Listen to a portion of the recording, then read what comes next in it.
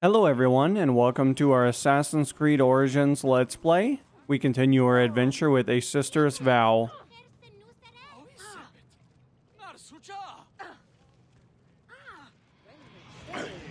Are you Raya's brother, Ranofer?